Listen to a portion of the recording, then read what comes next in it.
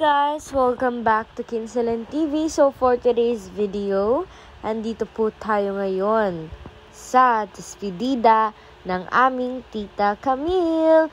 Dahil ang family po nila, ang team de la Isla Noval, ay malapit na pong umalis papuntang Canada because of their work. Doon na po sila mag-work.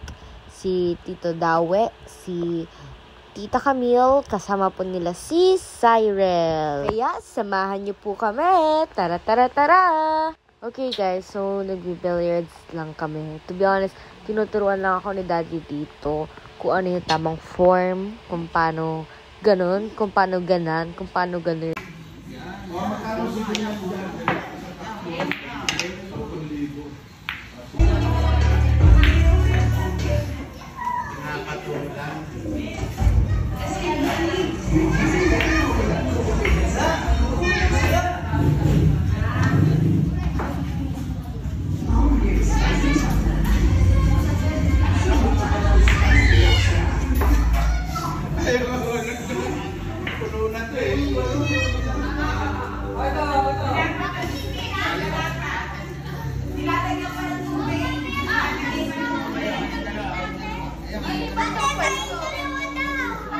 Yan guys, sabi ni Mami, tatry lang daw siyang isa kung marunong ba daw siya.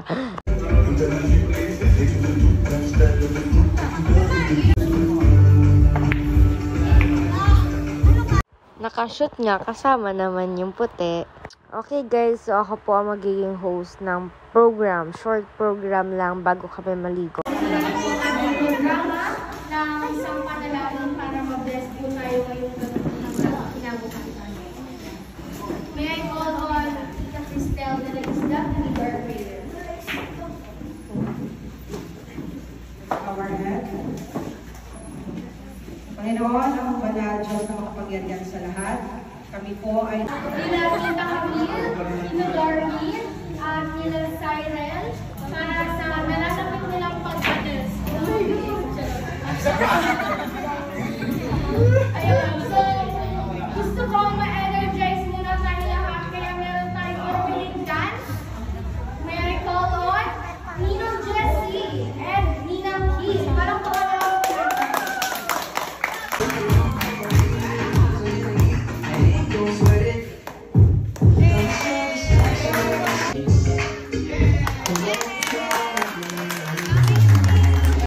Okay guys, ayan guys si Cyril. So meron kasing uh, patugtog na song, tas gento. Ayan, pumunta siya sa dance floor sis. Kami naman nila Ninong Jessie, Ninang Kit, sinabayan namin siya sa pagsayaw ng gento.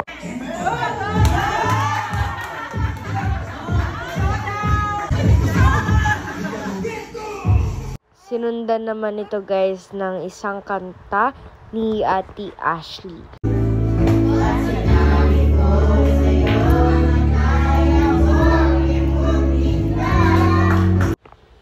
Pagkatapos naman nun guys, ako na! Palakpakan po natin!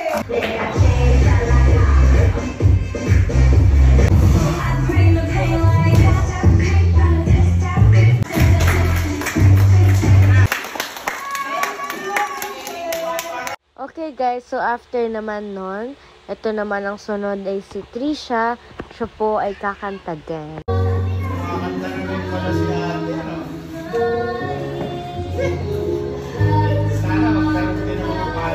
Ayan guys, so nakaupo dyan sa harap si Tita Camille. Sinasayawan siya ni Kiefer at ni Kuya Ian ng Jumbo Hotdog. Kaya mo ba to?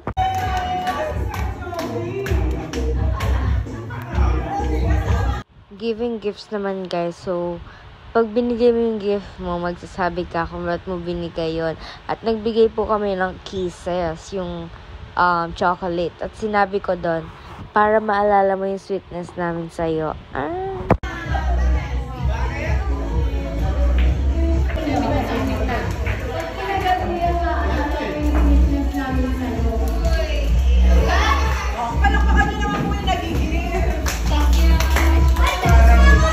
Okay guys, may naman kami dito, Team Camille and Team Darwin. So, nandun ako guys sa Team Camille and puputukin po yung lobo tapos sa loob ng lobo may laman and i-action namin para malaman or mahulaan ni Tita Camille. Si Ante oh, hindi pa nga putok. Ang bigat-bigat mo na.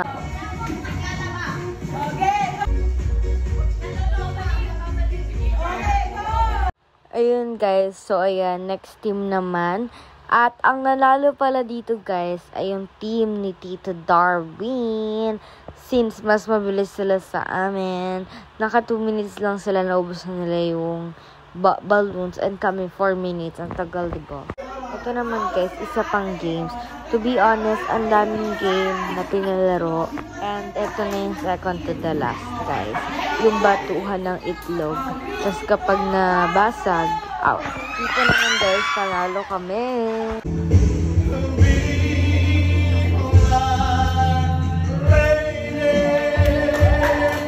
After ng program guys, swimming na po kami. Ayan na si daddy.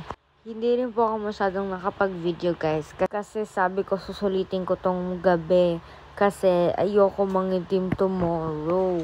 Maliligo ko tomorrow ng maaga. Yung wala pang sunlight. Tapos mabilis lang. Okay guys, it's morning already.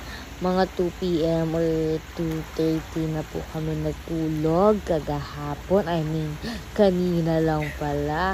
And ayan, nauna na si daddy sa amin mag-swimming. At ayan naman si auntie guys, kakagising lang. Kusot-kusot pa ng mata. Okay guys, naligo kami mga 9 at makulimlim siya guys. Kasi nga guys, 2 na kami natulog. So, late na rin masyado nagising. Pero guys, ayan, wala namang sunlight.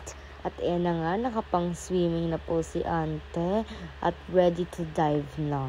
Guys, mas malalim po yung tubig ngayon kaysa kahapon. Kasi, I mean, kaysa kanina. Kasi nagpalit po ng tubig. And, uh, kahapon po kasi guys, mga nasa below lang ng kulay blue na yun. But ngayon, lagpas pa doon sa blue na yun. And lagpas din siya sa akin, guys. slide. Oo. Tatalayin kita. Ah, challenge, slide. Isang slide lang, ayun, nandun na.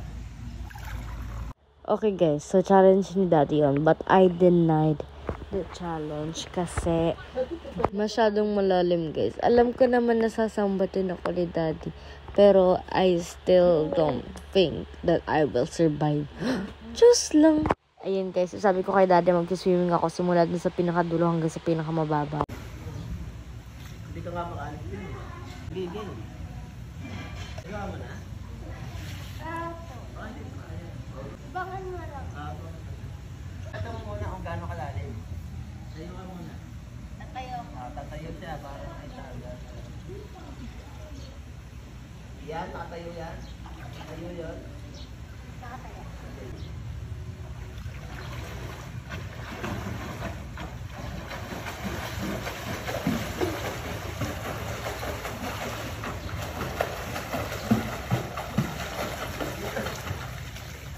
Uy!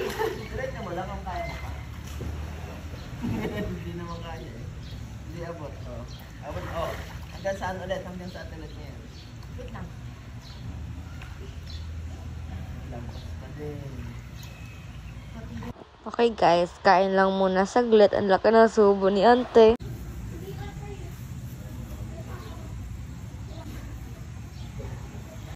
Okay guys, so itatry ko ulit siya. But this time, wala po si daddy na aabang sa akin. Ang naging video po nun si daddy.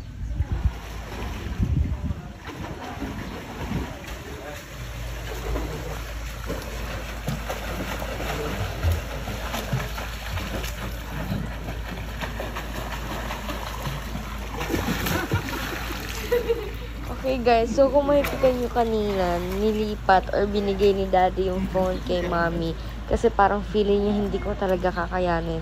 At yun na nga guys, akala ko wala talaga. Ah, pagkababa ko, hindi ko siya abot. Tapos nahawakan na lang ni daddy yung kamay ko. Okay guys, after that, bill billiards. Billiards ulit tayo.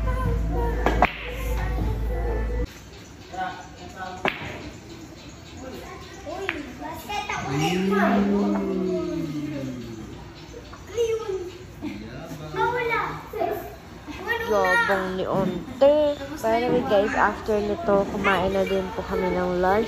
And after that, pahinga lang konti. Then umuwi na rin po kami. And yun po guys for today's video. Bye-bye! Tara, tara, tara!